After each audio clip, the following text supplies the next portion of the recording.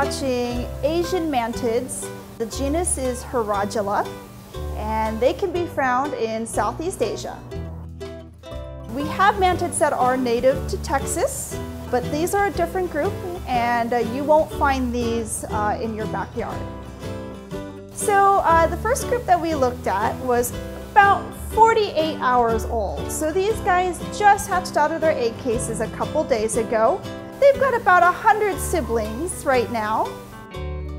The second group we're going to be looking at, they're actually about three months old.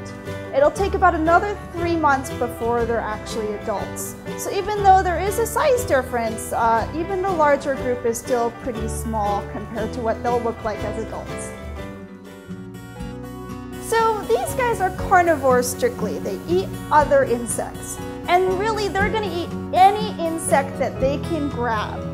And we start off with fruit flies when they're the smallest age group. So the ones that are about 48 hours old, they're gonna be getting fruit flies for some time. Uh, the second group of mantis that you see, they're eating smaller crickets now. The adults can eat uh, adult crickets, and they can even eat something that's bigger than a cricket. If they can grab and hold on to it, they might try to eat it. So we do have the Asian mantis out on exhibit.